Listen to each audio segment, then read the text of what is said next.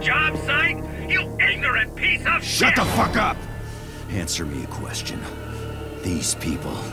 Have you had us killing innocent civilians? What in the name of sweet Mary Mother of Christmas did you think you were doing out there all this time? You namby-pamby cocksucks are Confederate sanctioned assassins! You told us the targets were gun runners, slave traders, mass murderers. Yeah, Who did we just kill? Novak. Held incriminating evidence against you, sloppy shitheads. You killed him to cover up what you do.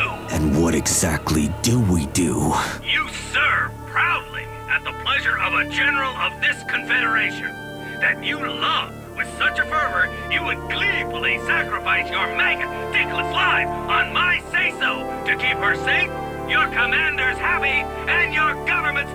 sovereignty strong. Now, you festering assholes! Either make with one sweet and sloppy apology, or I will fuck up your lives! I am gonna kill you! Hey, man! What the fuck?